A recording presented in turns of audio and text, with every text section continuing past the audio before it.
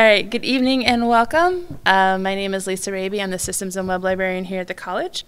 And I will also be the moderator for this evening. And along with myself, the library, and uh, the Muslim Journeys bookshelf, we are pleased to present Saladin Ahmed, um, an award winning science fiction and fantasy author, to give his talk tonight.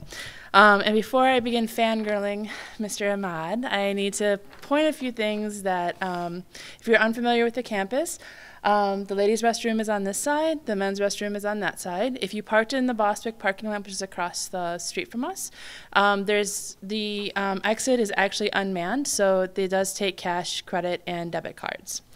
Um, if you have any questions about any of those things, let me know after the event and I'll help you out. Uh, and now on to the fangirling. Um, I first came across Saladin's work a few years ago through a mutual friend of ours um, who um, had introduced me to his debut book, uh, Throne of the Crescent Moon, and I've been a fangirl ever since. And it's no surprise. He has won the Locus Award for the Best First Novel for Throne of the Crescent Moon. He has also been nominated and a finalist for the Hugo, the Nebula, the Crawford, the Gemmell, and the British Fantasy Awards. This also does not include the awards and accolades he has won for his short stories, prose, and poetry. Um, his work transcends his contemporaries in not only his genre, but all genres. And his characters are people that you get heavily invested in from the very beginning, and his worlds are places where you want to live in. He is passionate of voice, he's an enchanting voice, and he has a very powerful voice. His work is provocative, thought provoking, and underscored with humor that teaches us to look at each other and within ourselves and not to take ourselves too seriously when, while telling a great story at the same time. Well, I'm sad to report Mr. Ahmed did not show up wearing Speedos and a Spider Man mask as he had claimed he was going to do on Twitter. I think we'll take him just the way he is. Ladies and gentlemen, we are proud to present to you Saladin Ahmed.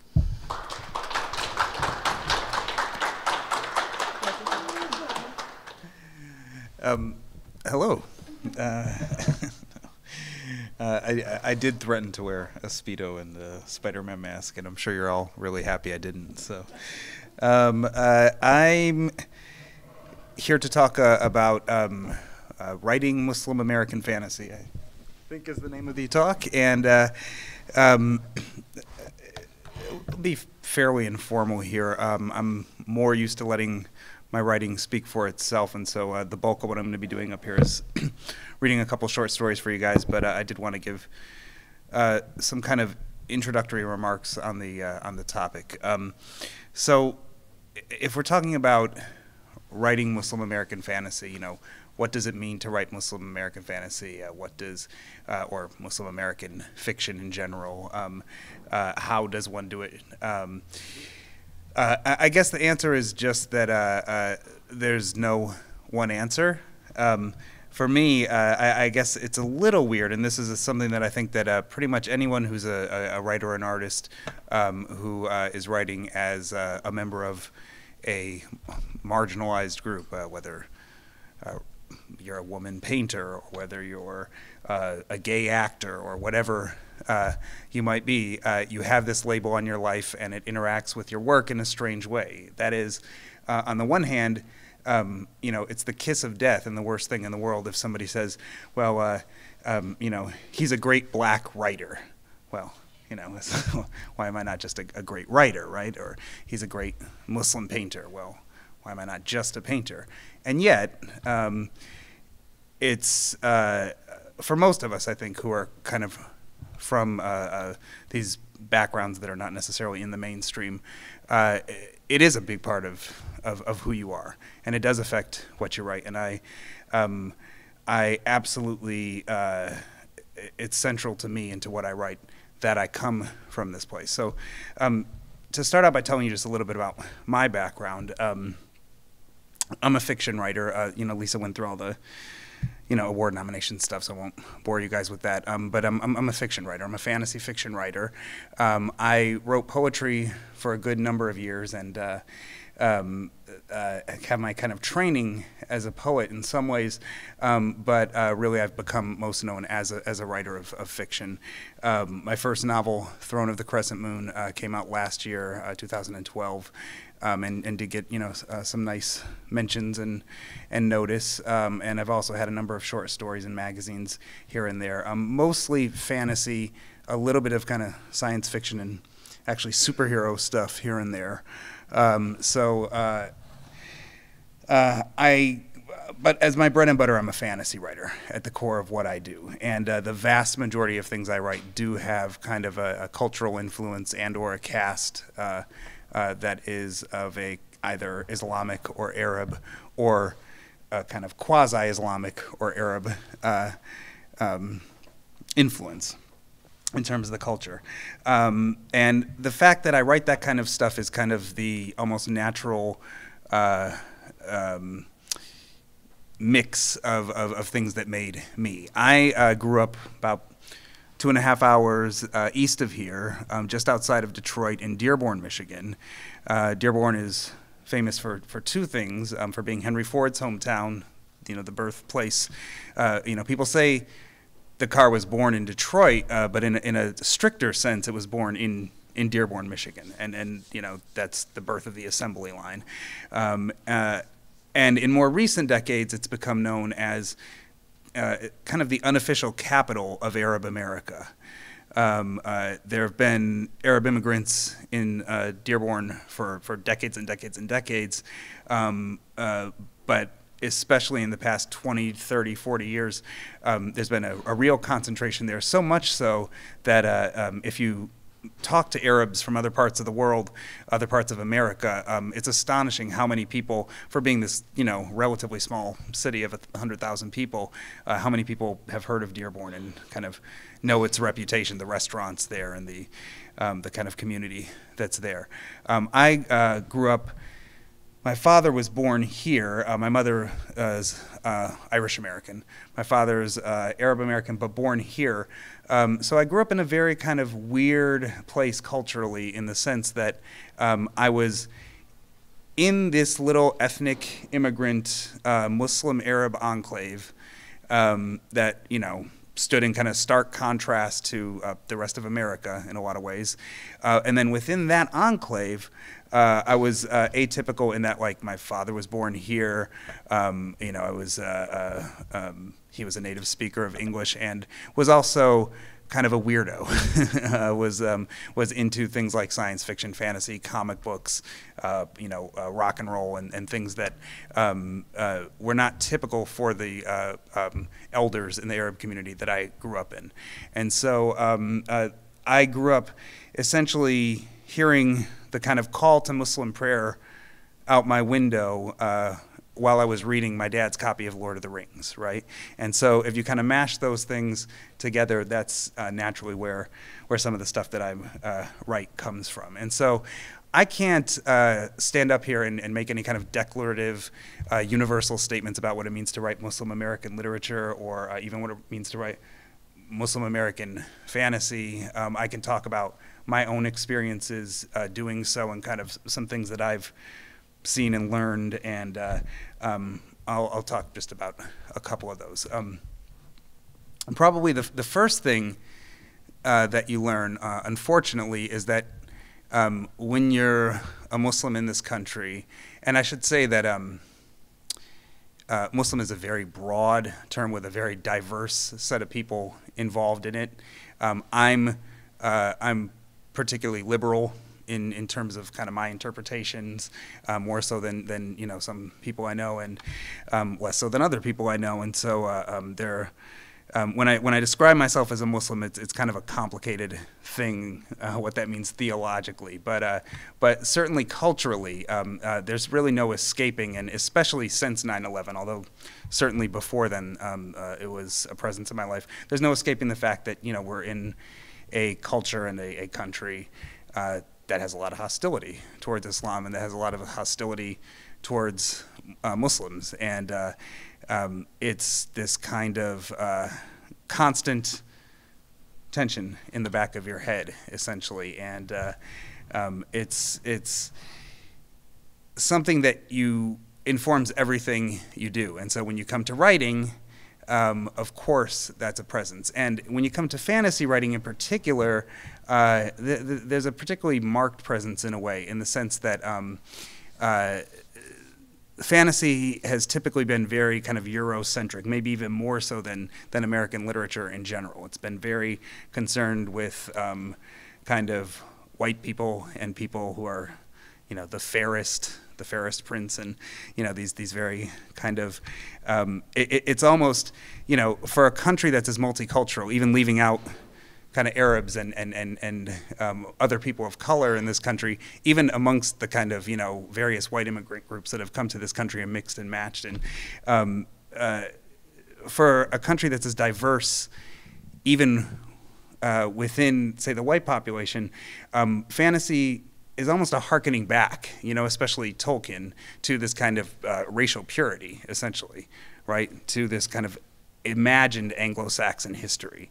And so we bring that baggage with us when we read fantasy and we kind of look at, you know, what are who are the bad guys in Lord of the Rings? Well, it's the the guys off to the east and the guys down south, right? And uh, you know they're uh, darker than the heroes. And when we read descriptions of the orcs, you know, there's a lot of weird stuff in there racially that has them sounding like black people here and sounding like Asians here. And um, so this kind of othering is uh, is really kind of central in a lot of fantasy, and uh, it's uh, it's been a kind of weird tension all my life growing up, right? And sort of reading this stuff um, and identifying with it in one sense, and then kind of seeing yourself cast when you appear at all, seeing yourself cast as a kind of villain at the same time, and it's uh, it's kind of a strange thing. Um, I think uh, what I'll do to kind of uh, evoke that a little bit is actually uh, read the first story here that I'm going to read. Um, now, this is from, uh, and I'm going to read not the entire story, but selections.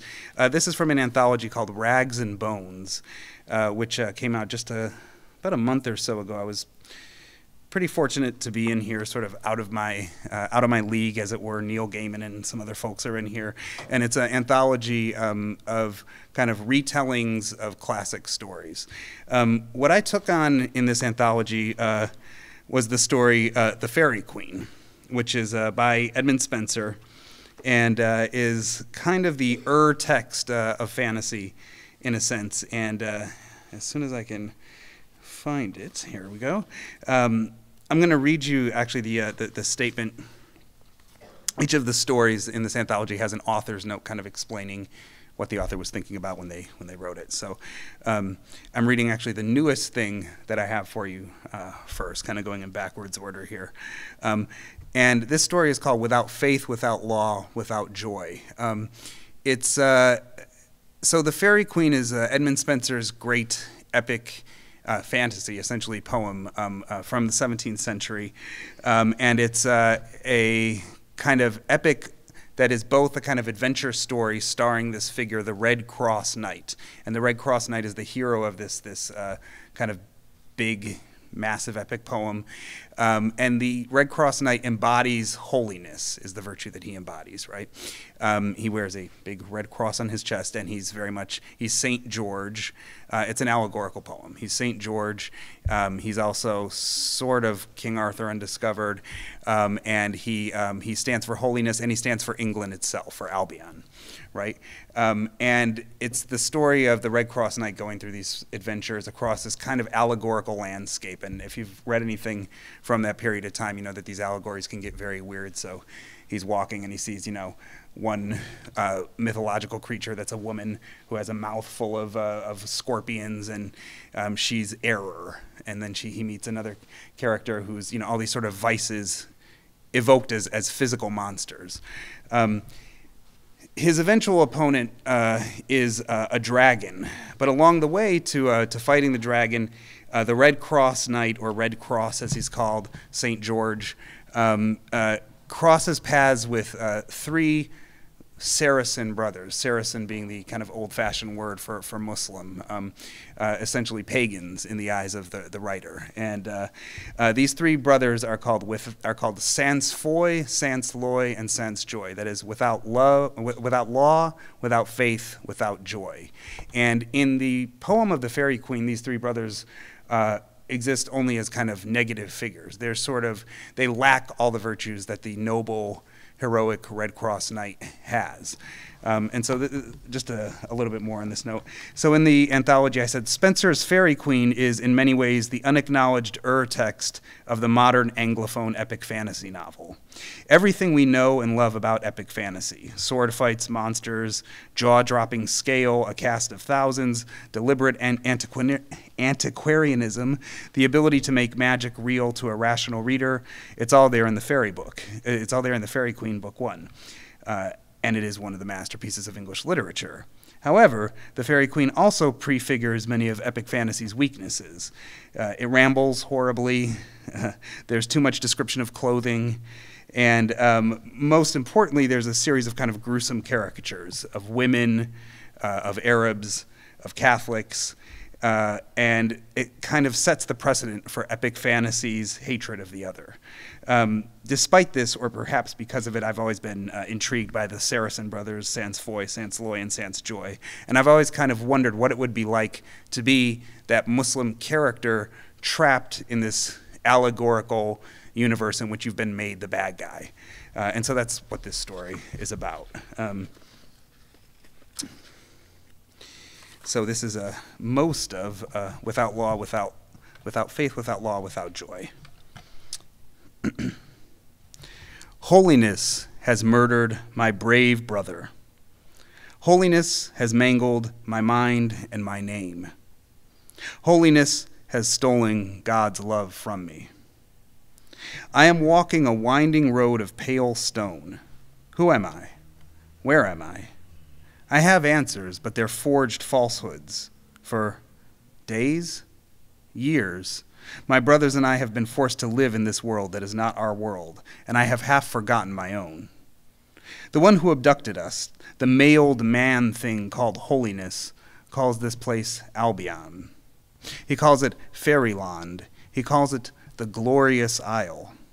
The sunlight here is cold and lifeless, the trees are strange, and the birds have evil eyes.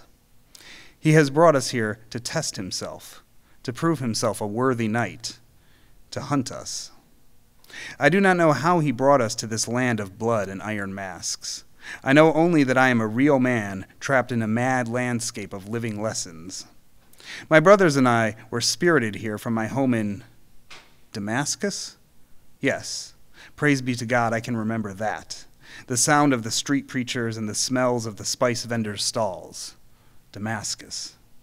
We were sipping tea in a room with green carpets, and I saw and I was laughing at a jest that that someone was making. Who? The face, the voice, the name have all been stolen from me. All I know is that my brothers and I suddenly found ourselves on this twisted place, each aware of the other's fates, but unable to find one another, unable to find any escape. Now my eldest brother has been slain, and my next eldest brother has disappeared. Who am I? I do not know how he changed our names, but in this world of lions and giants in the blinding shine of armor, I am called Joyless, as if it were a name. It is not my name. It, it was not my name. But this is his place, and it follows his commands. And so, now, here, Joyless is my name, and Joyless has always been my name. This place, this Albion, has scrawled its hateful sigils over even the past. Now, when I remember my mother's voice calling for me across the small souk, I can only hear her voice of rock and honey saying, Joyless, Joyless, come here at once. Now my father's last whispered words to me, as sunlight streamed in the wood lattice window, his last words all those years ago are, Joyless, my beloved, thanks be to God that you are such a smart boy. It's the only name I can find in my mind and my memory now. Whatever I was once called, whatever I once called myself, has been stolen. Joyless. A part of me knows it to be false. Some small, near dead piece of my soul knows that I was once a joyful man. Sometimes God grants me flashes of the man I once was, of what joy was, the feel of the falconer's glove as I hunted with my beautiful birds, the jeweled light of water the first time I saw the sea, the old poet at court granting my scribblings unfeigned praise. These are the sunbeams that break the murk for a moment here and there. Memories is too weak a word. They are like lightning, like the pain of a marked thief or a maimed soldier still feels in his hand. It still feels in a hand that has been lost. But they are so fleeting that they feel they become mere flashes of pain. And each day they fade, fewer, farther. Each day it becomes easier to succumb to the grim magic of this place that has claimed my kin, to forget joy, to forget who I am. Oh, skip ahead just a bit. Um, the character we so far only know as Joyless is kind of continuing down the road and seeing all of the kind of uh, allegorical horrors that the Red Cross Knight uh, has put there to test himself.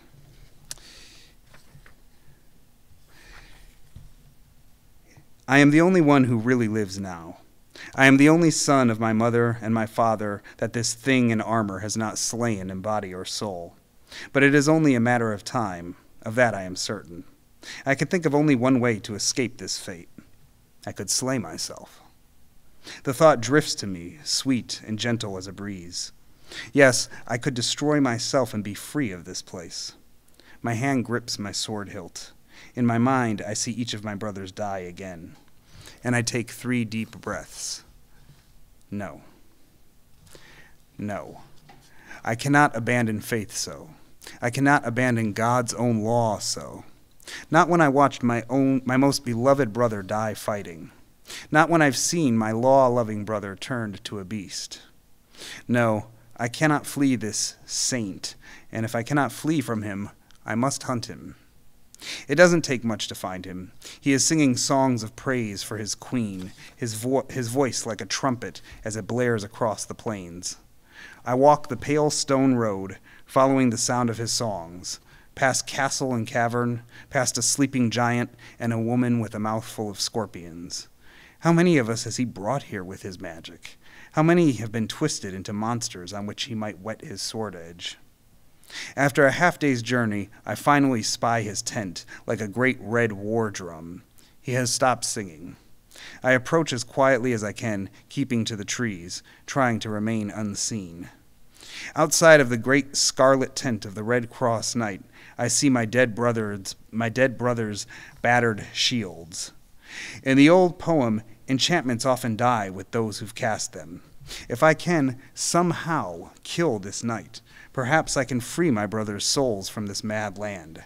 I call on God for strength, and I force myself to remember that my brothers lived by faith and by law.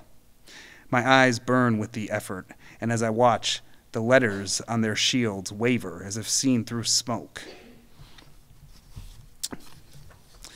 And uh, finally, uh, our, our, narrator finds the Red Cross Knight and uh, engages into a confrontation. And all this time, um, the Red Cross Knight has kept uh, the narrator's name and the names of his brothers from him, and so that he's he only knows his brothers as as lawless and as uh, faithless, and he only knows himself as joyless.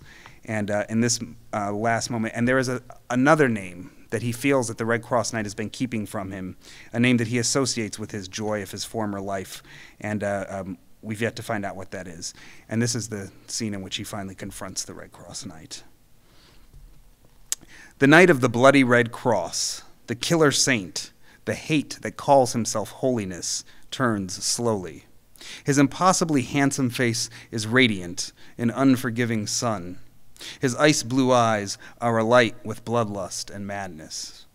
He answers my challenge with a haughty mock honor. He can afford this charade, for he knows that his grisly magic protects him. He has his chivalry and his cheat both. He wipes his gory hands on an unstained tabard. Soon we stand twenty paces apart in a circle of hard packed earth. Each of us prepares our arms and our armor, our hearts and our souls. Each of us dreams of killing the other, though I know that my dream is folly. Across the tanned leather of my buckler, Joyless, the only name I know now, is scrawled in lines like knife slashes. Another flash. I am young in the courtyard of a small mansion. I can see the old tree that I grew up reading beneath. An important man in yellow silk, my father, is training me to use the saber, though he knows I will never be the type who loves fighting. Always remember, Joyless, that you are fighting a man. Some part of me knows that my father did not call me Joyless, and yet I can remember the smell of his breath as he did so.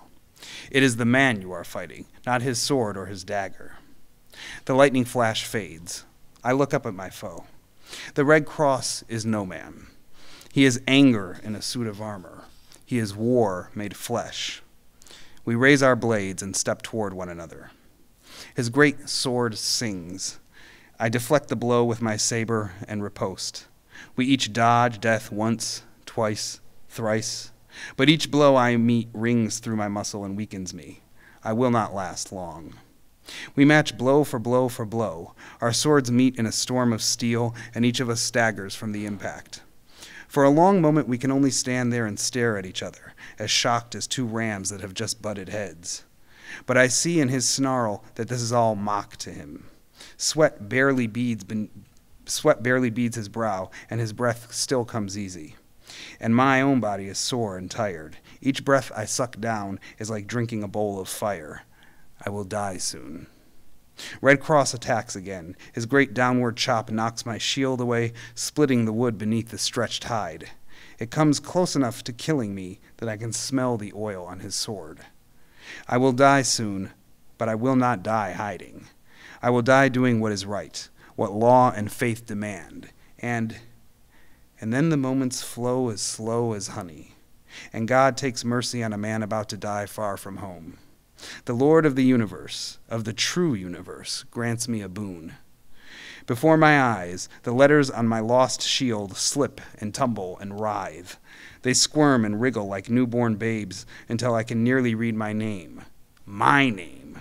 My name, not the name that this murderer saint has given me, not the evil name that he has forced me to falsely recall having painted there.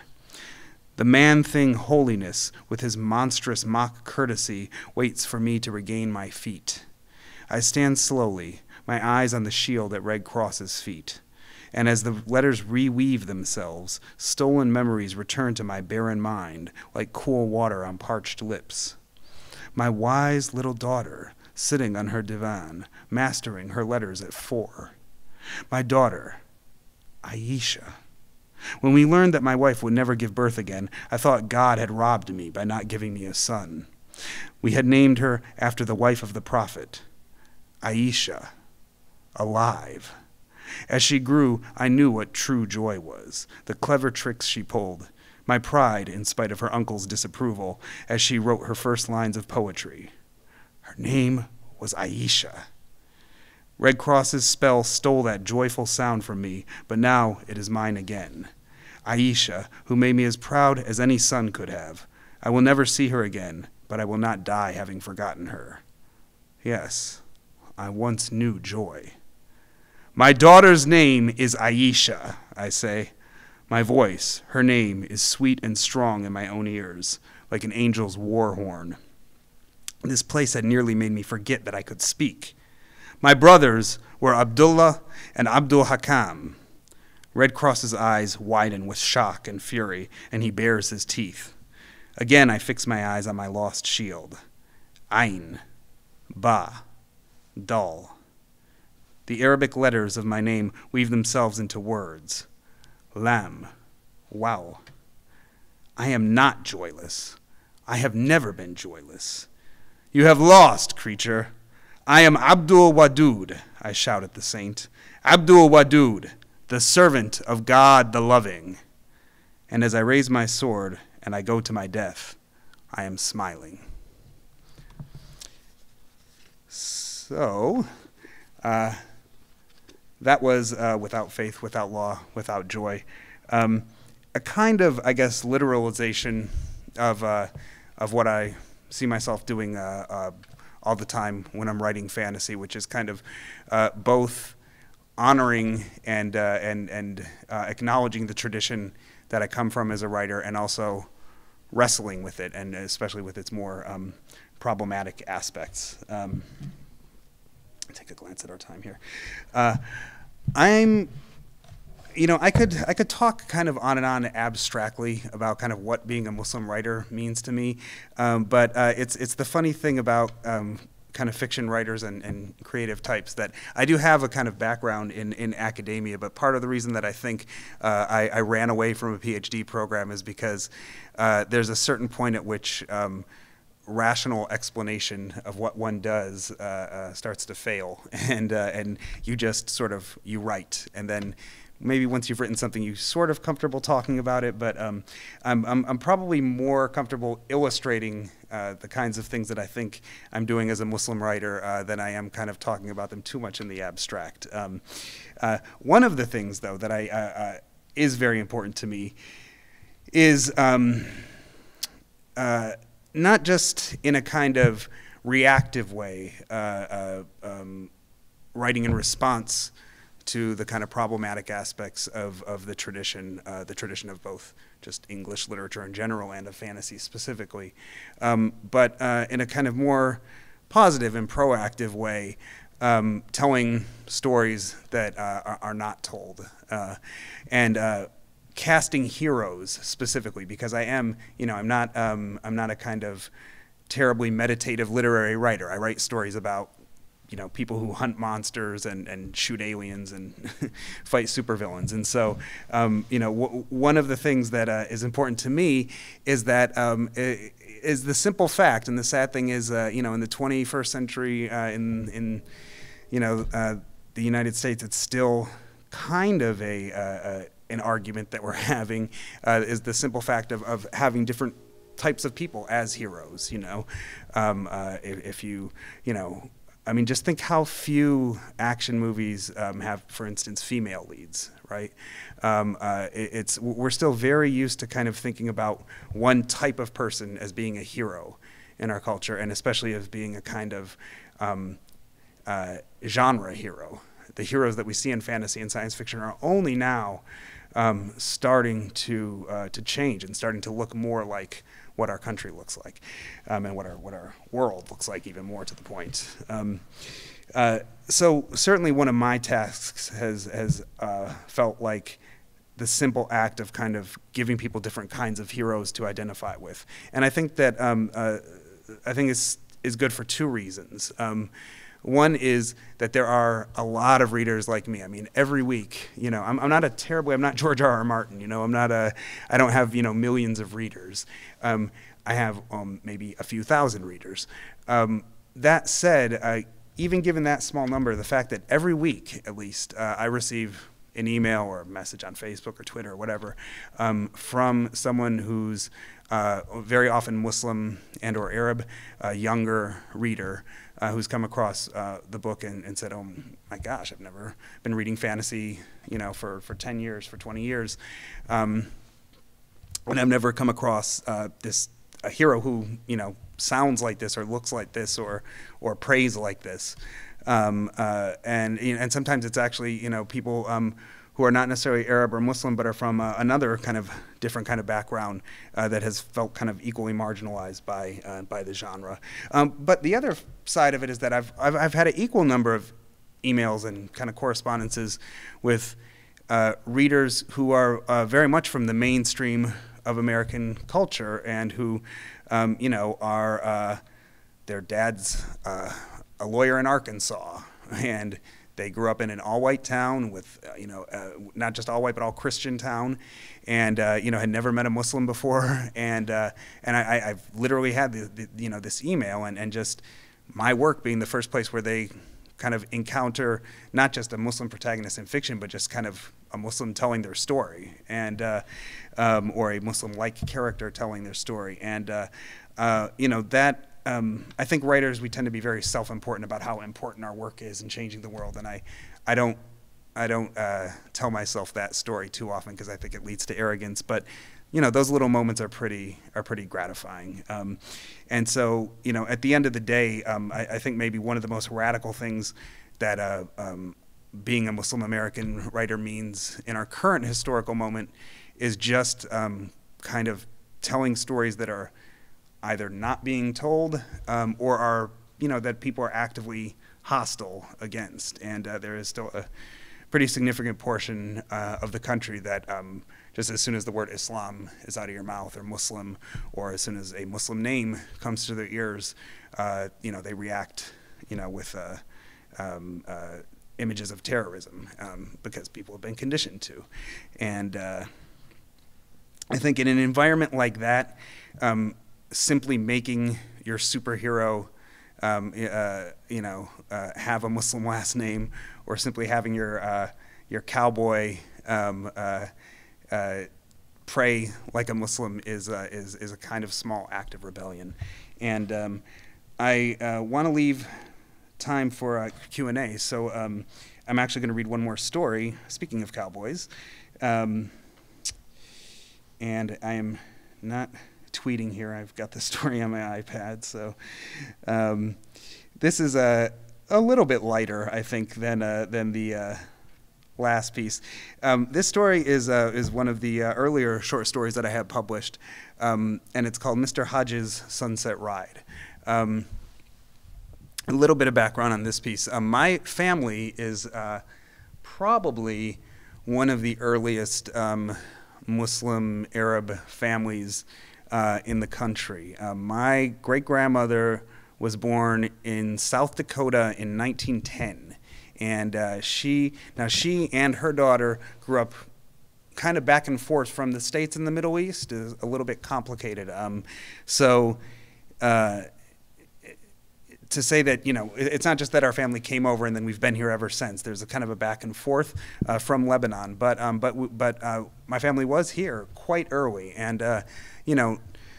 My great grandmother would tell me stories about being a little girl in South Dakota, and uh, you know she was 10 years old. 1920 in South Dakota, that was that was still almost the Old West. I mean, it was just kind of just out of of, of, of the Western period, the classic Western period, and uh, um, there, there is this history. The one thing you find out when you dig into American history is that, um, you know, everybody's been everywhere. There's been one person at least from whatever group in whatever weird, you know, corner of American history and geography you find.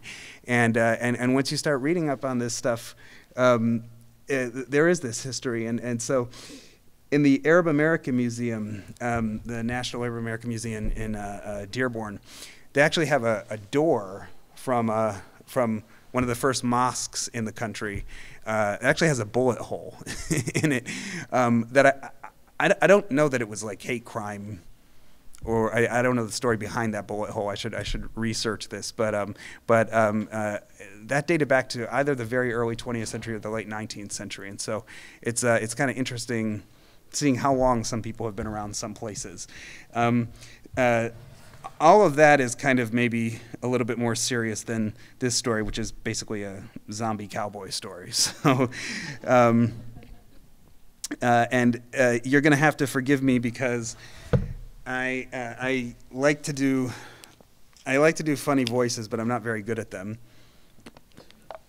And uh, this narrator is um, uh, is an old west narrator. So if there's anybody who's like actually from the uh, American West are from down south and you're offended by my accent, you know, I'll give you a come see me after the reading. I'll give you a card to do like a bad Arabic accent. That's um, could do an exchange. Um, uh, so I think uh, we'll read this and then uh, and then go to Q and A. Um, so this is Mr. Hodges' Sunset Ride, and uh, it opens um, from a quote from the Quran.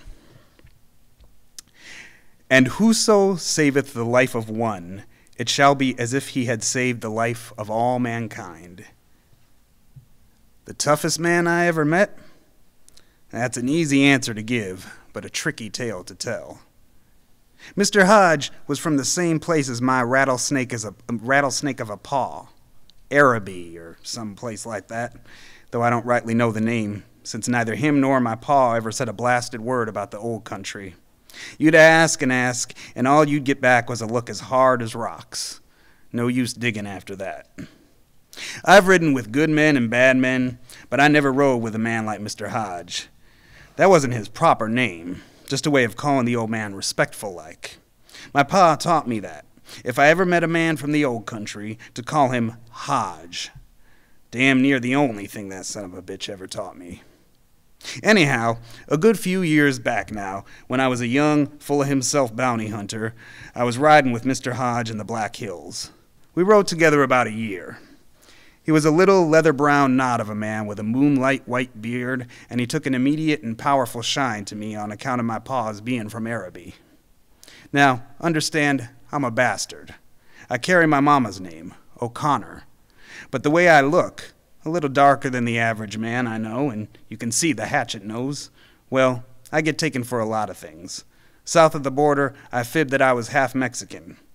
Lived a summer trading with the Cheyenne, claiming to be part red man. Even got chased out of town once when I winked at the wrong girl because they was sure that they was sure as hell I was mulatto. It can be hell sometimes being different things to different folks, but it can be right useful too. Well, Mr. Hodge must have smelled the old country on my blood somehow. Like I say, he took a shine to me, and me knowing how to call him respectfully, well, that seemed to seal it for him. I can't say I ever understood it, but Mr. Hodge was the kind of man you wanted on your side, so I wasn't about to complain. For what it's worth, I was the last man ever saw him alive. The last time I rode with Mr. Hodge, we was in a little shit town in Texas, trailing Parson Lucifer's gang. Old Parson Lucifer was an ex-preacher, mad as a rabid dog. Said he took the name Parson Lucifer because he was part blessed and part damned, like any man. I can't say I ever saw the blessed part, though. Like I said, the man was out of his blasted mind. Anything ruthless or nasty you might have heard about his gang was probably the plain truth. That three day slow murder of the blacksmith and his wife in Deadwood, done with their own smithing tools, that weren't no tale. The widower sheriff of Redemption and his baby boys getting their ears chopped off and force fed to them. Yeah, Parson Lucifer did that too. We were in the employ of the town of Crossblood, where even the old Sunday school teacher was foaming at the mouth to see Parson Lucifer and his gang strung up. They'd lost a lot to those boys. Most of the gang had been caught before we ever got hired, and what got done to 'em wasn't, wasn't none too pretty neither. But Parson Lucifer and his two sons were still out there. Well, one and a half of his sons, anyway.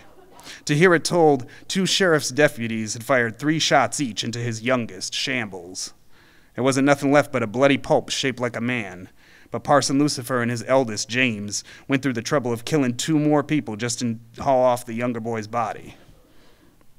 Now, Mr. Hodge and me weren't the only hunters hunting those dogs, but it was us that found 'em. Rather, it was him that found 'em by serenading the rocks. See, that old man could sing. I don't think he knew what half the words meant, but when Mr. Hodge started in on them old cowboy songs, well, Sure as I'm standing here, when that man got to crooning a tune, he made the earth himself cry. This ain't just me tale telling, you understand. I've seen tears fall from big red rocks when that old man hummed. I heard stones weep, and they parted before him. So when Mr. Hodge said that a stone in the road told him where to find Parson Lucifer, I didn't doubt it. And though it still spooked me, I didn't flinch when he sang softly to a great big cliff face until it wept and opened a passage to a perfect ambush perch. Y'all ain't got to believe me for it to be the truth. I never learned Mr. Hodge's Christian name, but tell the truth, I don't think he was a Christian. Not to say he wasn't living Christianly, you understand. When we were down Mexico way, that man would toss his last peso at the first beggar who asked. But I don't think he ever touched a Bible in his life and Sunday to him was just another day. Every evening, he'd roll out this funny little rug. Then he'd turn his back to the setting sun, bow down, and say some of his words. Heathen praying, far as I could tell. You gonna do that every night? I'd ask him early on. Should be more, he'd say in that rocks and honey voice, and that was all he'd ever say on the matter. No, it wasn't nothing Christian, but my mama taught me that another man's religion was like another man's wife. None of my goddamn business. That old gal taught me a lot of lessons, but sticking to my own business was just about the best of of 'em. Granted, he ain't seemed to like words a whole lot. Never said much more than, yup, nope, I reckon, and good, huh? Once in a while, he'd get real mad. He'd start talking his old country talk, sounding like, like a man clearing his throat with flowers. I suppose it would have drove a lot of men mad riding with a man as quiet as that. And I can't say that once in a while I didn't wish Mr. Hodge was a bit more social. But I always like my quiet. There ain't nothing in this world that drives me up the wall like riding with a man who keeps talking when there ain't nothing to say. I always knew Mr. Hodge was there, and that was all I needed to know. By my hope of being saved, I tell you, I never saw a man as good with a gun. It wasn't natural the things that old man could do with a Navy Colt or a Winchester. You think I'm talking tall, but I swear it before the Almighty Himself. I seen Mr. Hyde shoot the buck teeth off a jumping jackrabbit. I seen him shoot another man's bullets out of the air. I seen him shoot more than a couple of men, too. We made over a dozen bounties in that year together, and not all of them were alive. Not by a clean sight. We were spying on Parson Lucifer and his son from our hiding place high in the cliff face when Mr. Hodge, for reasons known only to him at the time, insisted we wait until the next day to nab the bastards. Well, I didn't want to hear that. I was a foolish young man in those days, hot and headstrong with even more to prove than your average prairie boy. Tomorrow, he said, making the words sound like his old country talk. He was loading his Colt with funny looking bullets. Silver, if I didn't miss my guess. Tomorrow? We got him dead to rights right now. What, With them powers you got. Mr. Hodge looked up from his gun and ran a hand over his beard. Powers? Shut up, you. Just a knack. A knack? You can. I stopped, knowing I'd flapped my gums too much. The old man didn't like when I brought up the things he could do. His eyes narrowed, like I just called his mama a whore. Somewhere out there in the purple early evening, a, co- a coyote howled. Mr. Hodge spit at my feet and jabbed a tree branch trigger finger at me. You talk too much. Just heed, huh? Tomorrow. Now look here, I said. You know I respect your experience, and I do try to heed you, but should be more, the old man said, and turned his back to me. Now, if I'd had half a head on my shoulders, that would have been the end of it. But I was young, a little fired up, and a lot of stupid. I thought I could make Mr. Hodge respect me. And half a whiskey flask later, I just knew I could do it by bushwhacking two outlaws single handed. So after Mr. Hodge had turned his back to the sunset, said his should be more rug prayer to the heathen god, and gone to sleep, I snuck down the cliff. Like I said, young and stupid. If I hadn't been drunk on top of that, I might have given a second thought to those silver bullets Mr. Hodge had been fiddling with. Now, them boys was too smart to set a campfire. But the moon was big and bright, and by its light I could see Parson Lucifer's white preacher collar. He was snoring away, but his son James was on watch. I crept up behind James, close and quiet. Now, even a boy as brash as I was knows that taking on two men at once, even if one of of 'em is sleeping, requires getting underhanded. And when it came to a gang of killers like Parson Lucifer's, well, I got no problem shooting a man in the back. So that's what I done. Three shots right up that boy James's spine. Excepting it wasn't James that I shot. It wasn't James that turned around. It was the other boy. The dead boy. I swear it by God in my mama's grave. That boy they called Shambles just stared at me, something like a smile on his rotten lips, his chopped steak half of a face. I put another slug right through his eyeball, but the boy didn't even bleed. Now, I heard that he, when he was a natural, living man, they called him Shambles on account of his funny walk. But when I shot that boy four times and he ain't stopped coming at me, well, that name wasn't so funny no more. My mouth dried up, my heart hammered hard, and I screamed and ran back the way I came. But there was Parson Lucifer cut right across my path, wide awake and a revolver in his gray gloved hand. His boy James was beside him. They didn't shoot me, just laughed and told me to drop my gun or they'd give me to shambles. I heard the dead boy laughing through his open throat, and I won't lie, I wet myself. Then I dropped my gun. Half an hour later, I found myself lying trussed up on the ground with two teeth knocked out. Parson Lucifer's boot heel was digging into my cheek, and I was wishing I'd listened to Mr. Hodge instead of letting my hot blood send me off half cocked. Don't look so worried, boy, the old bandito laughed. I ain't gonna kill you yet. No, you got to die in a special way, a slow way. That hex that raised my boy Shambles is constantly calling for fresh blood. Having you here, well, this saves me dangerous raiding on a town. He took his boot from my face and strutted slowly into view. He smiled a nasty little smile and looked up at the night sky. The blood spilling, it has to happen at sunrise when Shambles sleeps. So you got yourself another few hours to live. Tears started to burn in my eyes.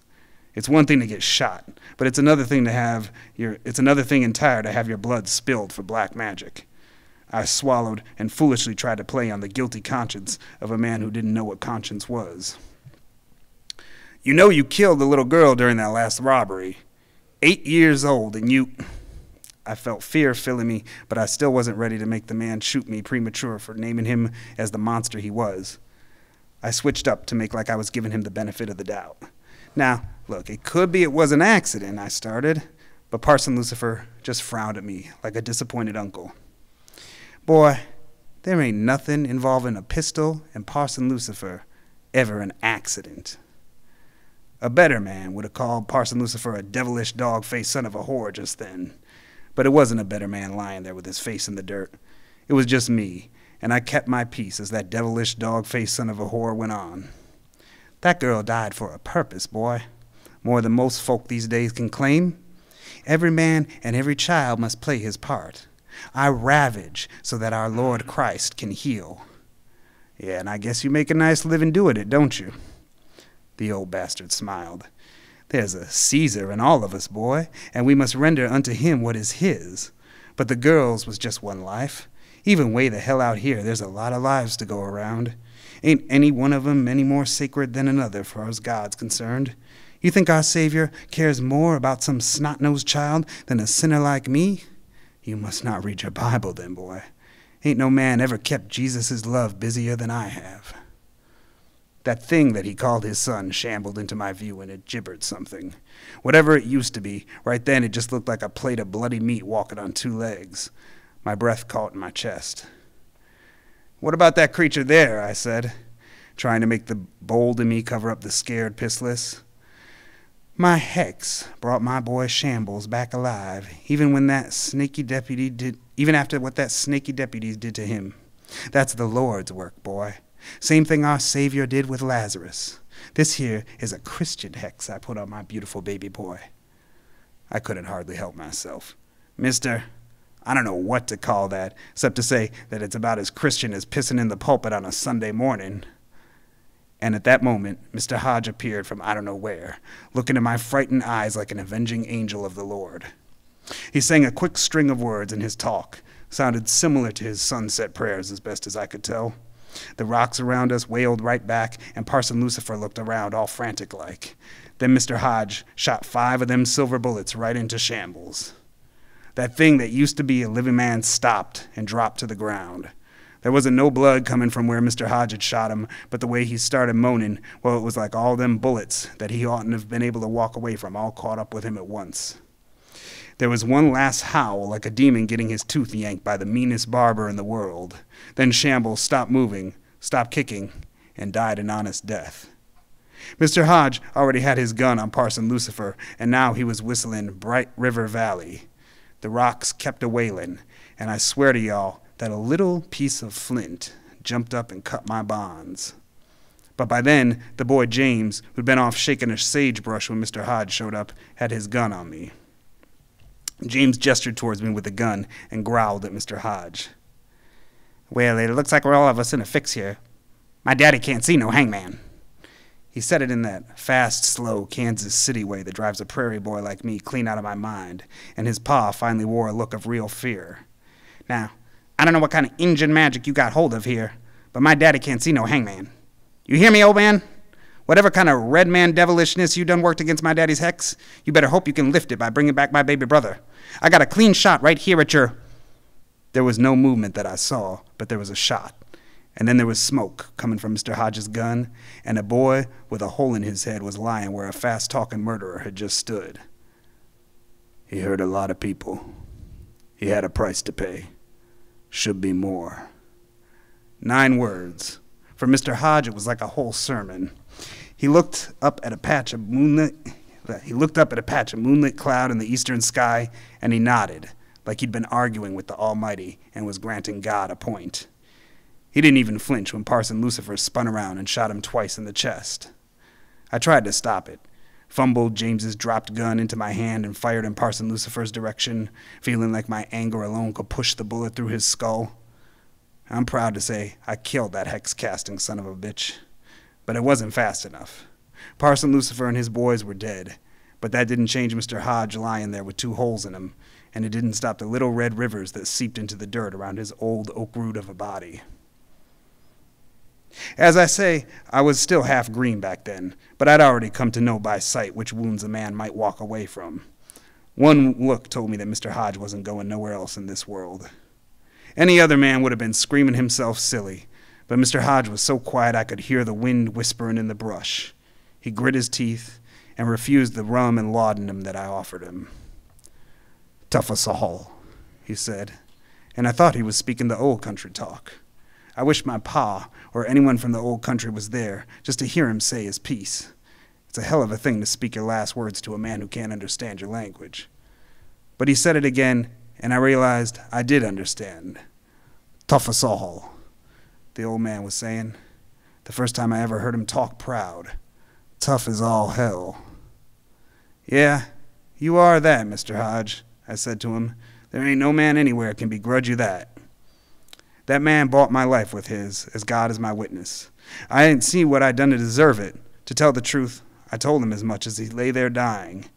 The old coot spit out some blood and seemed smiled real mean like. For you?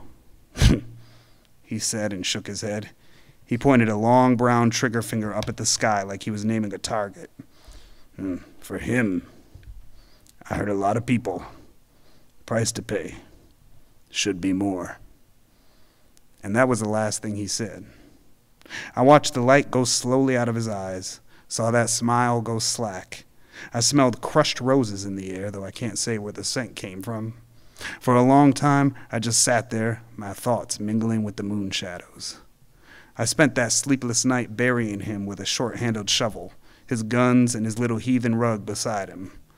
Come morning, I was wore out as a man could be, but it was time to leave. Ashes to ashes, I said, by way of goodbye to the old man. Dust to dust. Then I dragged myself eastward, my eyes half blinded by the rising sun. That's it. Thanks.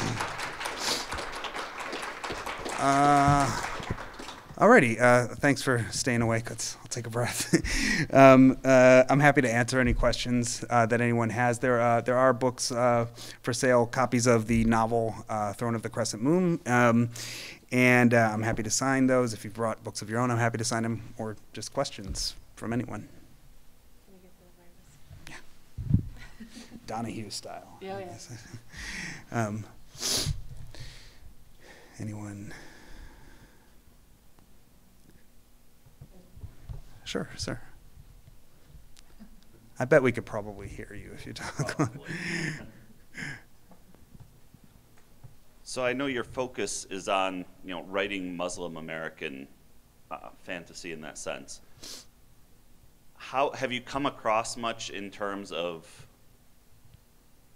um, Arab fantasy that you feel there's a significant difference in the way you approach it versus say if you weren't Muslim American, if you were just Muslim and you were writing fantasy, do you Right. feel there's a significant difference? Yeah, that's that's a really good question. Um, it, it, it's very hard for me to disentangle the two. Um, I mean, much of what I think of and what I've experienced as as Muslim culture for me has been Arab, uh, or more accurately, Arab American culture, and so um, I think that you. Uh, it- when I interact with um, with fans, with kind of especially science fiction and fantasy fans, it's, it's it's been interesting seeing different parts of the world. My expertise, my kind of cultural training, as it were, is essentially uh, uh, Lebanese and Egyptian, and uh, you know I've uh, since putting out the book, I've had readers who are like from Malaysia or um, Muslim from the Philippines or um, uh, uh, you know from sub-Saharan Africa or and um, it's been it's been interesting seeing how being a Muslim geek in these different cultures is means pretty different things in different in different cultural contexts. Um, if I were you know, Turkish, it would probably I would probably write differently, sure. You know, um, on the other hand, if I were an Arab Christian, I would probably also write very differently. You know, and there are you know many many uh, Arab Christians, of course. So it's uh, it's the the two are, are fused for me, um, and you know are it's very important to note that that the religion of Islam and, and Arab as an ethnicity are very, very different things. But for me personally, they've always been fused in the way that I've grown up. So it's probably hard for me to, to disentangle the two. Other questions? Sure, please. Yeah, I probably don't need that. Um, you said earlier that. Oh. Mike, Mike, Mike. Thank you. Uh, you said earlier that um, there are more um, characters of ethnicity coming out as being um, heroes. Do you contribute that more to the way publishing has changed, or way more culture has changed? I don't know if it's uh, if it's so much publishing per se, although um, I think that publishing is more accountable now. Um, you know, it, it, it, really, like almost every industry, um, you know, uh, movie making as well, the music industry, you know, um, you did have this period where, at least on the national level, the stuff that was coming out was really uh, filtered through these this this very small community of gatekeepers, and they were demographically, they were not just uh, you know almost all white, but you know almost all male, uh, mostly straight or at least publicly straight.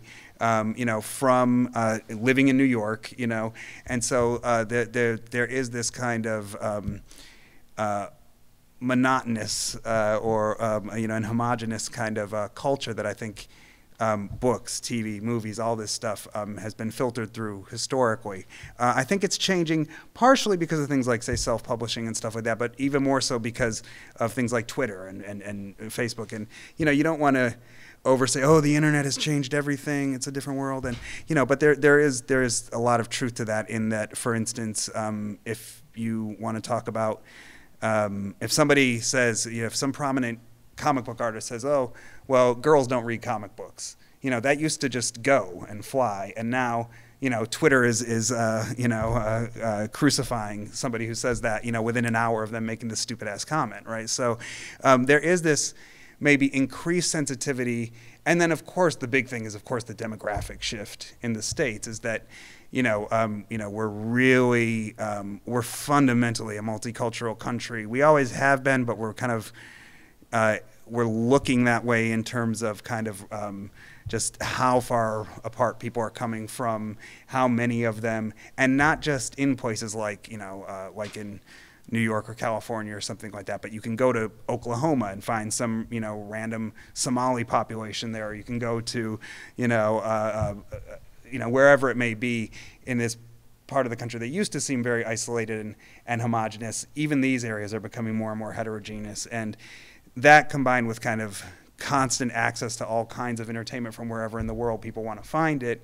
Um, you know, it's like if some new cartoon comes out in Pakistan, you can watch, even if you don't know Urdu, you can watch the, uh, you know, you can watch the first episode on YouTube now. And so I think that's all those things kind of combine to kind of making a more accountable and, and you know, hopefully more diverse um, culture uh, just in general. And so that's definitely reflected, I think, in, in fantasy and science fiction too.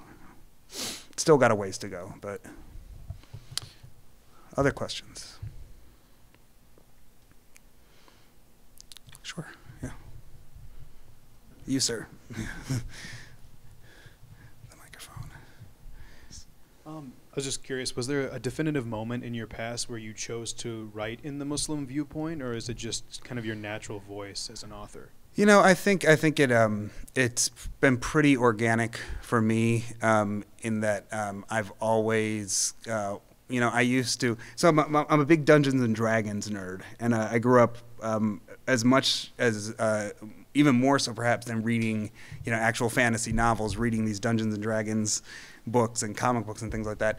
And um, you know, so in Dungeons and Dragons, you always come up with you, you create your own characters, and uh, I would uh, I would just gravitate towards creating these quasi Middle Eastern characters, and I, I, I don't, you know, um, my father uh, uh was involved in um, uh, founding an Arab community center, and so he he was uh, very, um, without kind of being belligerent about it was always very kind of instilling a strong sense of kind of ethnic, a little less religious in his case because he's a pretty secular guy, um, uh, sense uh, of kind of who I was, and, and I think that, and he was also in, the person who encouraged me most. I lost my mother when I was very young.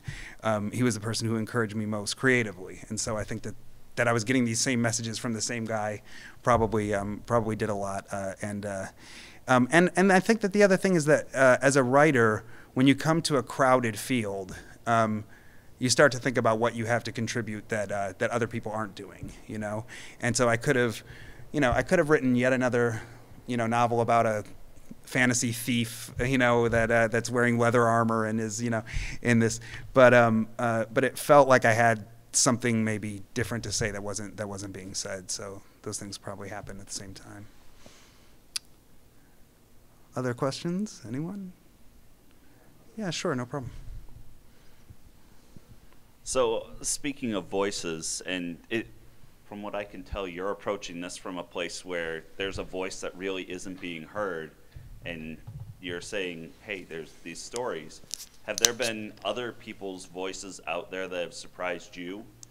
You know, Sure. Um, um, now, do you mean um, just in general, kind of in terms of the diversity, or specifically in terms of Arab and Muslim stuff? no, I meant in general in terms of diversity because we're seeing this explosion of diversity, and you're one facet of it. Are there other yeah, yeah. There's um, um, uh, rather than me try and like list authors, uh, if you if you just um, Google like diversity, science fiction and fantasy, it's astonishing over just the past very few years how much.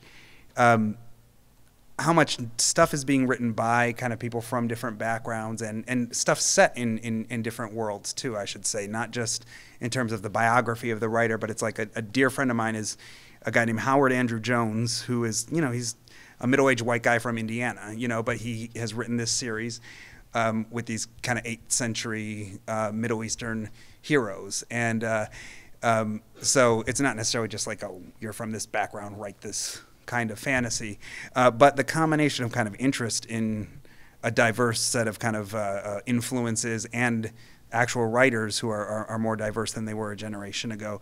Uh, I mean, there's there's remarkable stuff out there. Um, I mean, a few names that come to mind: Howard Andrew Jones, um, uh, Elizabeth Bear has a recent series that uh, is based on kind of Mongol myth. Um, N.K. Jemisin, who's a dear friend of mine. Has two series. Her first is her her main character is essentially biracial and but in this very kind of you know fairest of them all court.